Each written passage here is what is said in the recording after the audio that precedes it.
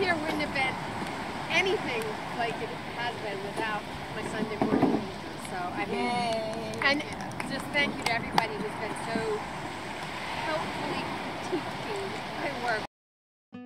Horseshoe Bay was the setting of Barbara Frida's final plein air session.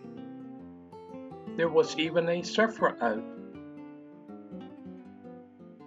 All the artists were spread all over the beach, and there was just one sitting in the middle of the beach. And here you can see all the others in their place, and some were quite hidden. And here's someone by the cove, some more people hidden underneath the trees. Everyone found something interesting to do. That's not a lifeguard, that's an artist. And here's all our work.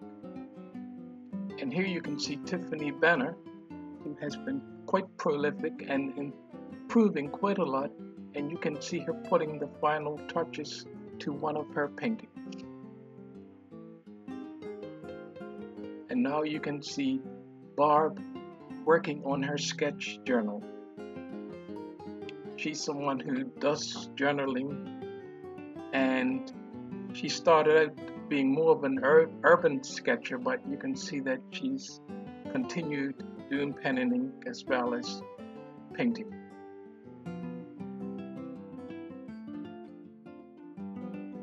So I hope she enjoys her time when she moves away from Bermuda. Many of you know, it took me about three tries to show up on Sunday. Because I'd get my stuff together and I'm going to go, I'm going to go show up.